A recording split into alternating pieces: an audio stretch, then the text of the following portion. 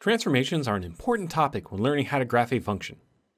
This is because with transformations, you only need to memorize a handful of basic operations. With these operations, you can then stretch, flip, or shift a function into its proper shape. Now, when you learn all of the various transformations, you quickly learn that they fall into two categories based on how they affect the parent function. There are the inside transformations and the outside transformations. These, of course, get their names because they can be found either on the inside or the outside of the parent function. When it comes to the outside transformations, these affect the outputs or the y values of a function, and they behave much like you would expect. If we multiply a function by 5, it stretches the function by 5. Add 3 to the outside, and it goes up by 3. But now comes the interesting part. The inside transformations seem to work in the opposite way you would expect. They affect the x values, so we see the result in the horizontal direction, but watch closer. Multiply the inside by 5, and it will shrink or compress the function by 5. Add 3 to the inside, and it will move to the left 3 units. So why does this happen? Well, the truth is that these inside transformations are not really backwards at all. To convince you that these transformations are working normally, let's play around with a function and watch what happens when we put in a value for x. Say, x equals 2. First we have 2 minus 3 giving us a result of negative 1. Next we multiply this by 2 and square it. We can then multiply by 4 and add 1 to give us a final result of 17. The entire time we apply the operations, nothing is opposite in any way. So then why is it when we go to graph the function, we then have to apply the inside transformations in the opposite way? To get to the heart of this question, we're going to need to look at the function in a different way. Rather than say inside or outside transformations, we'll break the process into individual functions. This way we can better keep track of the inputs and outputs of each transformation. In this diagram, every transformation is its own mini function.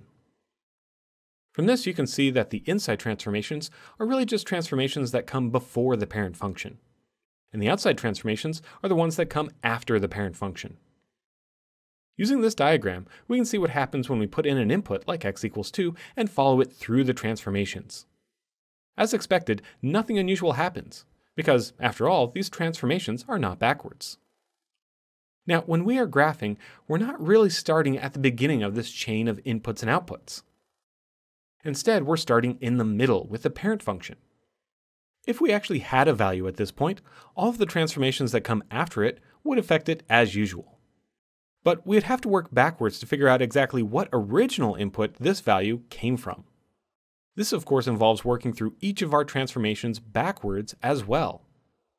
So the reason why it seems we are doing the inside transformations backwards is because we're reading them in relation to the parent function. In many ways, we're using the parent function as a frame of reference.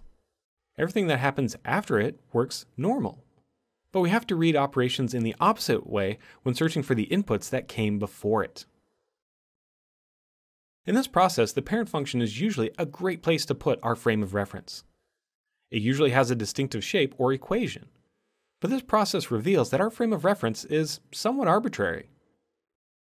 If we want, we can choose a different frame of reference. By applying what we just learned, we should still be able to create the correct graph. We'll just have to be extra careful that we are reading our transformations correctly from our chosen frame. Let's give this a try. For this part, we'll use the following function. The first way to interpret this is the usual way, with the parent function as y equals x squared. This would make the 2 and the minus 3 all outside transformations, and the plus 1 an inside transformation. Now when graphing, we'd be sure to stretch by a factor of 2 and shift down 3. Since the plus 1 is on the inside, or comes before the parent function, we'll work backwards to find the proper x values. Visually, we'll see that the graph shifts to the left by 1. Now, a second way is to start with the parent function of y equals x. In this interpretation, the plus 1, squaring, the 2, and the minus 3 are all outside transformations. So let's start with our parent function y equals x and see what happens in this context. First, we'd shift it up by 1, apply a squaring transformation, stretch it vertically by 2, and lastly, move it down by 3. Note how we have exactly the same graph as before. So in summary, when we talk about outside and inside transformations, These are really in reference to some given function. The inside transformations seem to be backwards, but this is only because they are applied before our given reference point. We are the ones who are working backwards through them to find the proper inputs.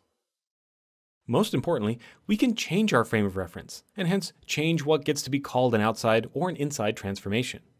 As long as we still read them in the correct way, we will still come up with the correct graph every single time. Hopefully that sheds some light on this useful technique for graphing and makes you a little bit more curious of the techniques we actually use. Next time you see your teacher, don't forget to ask them why inside transformations seem to work backwards and see what they have to say. Thanks for watching. Did you enjoy watching this video? Don't forget to hit the like button and then subscribe to my channel. As always, you can find all of my videos free of charge at mysecretmathtutor.com. Again, thanks for watching.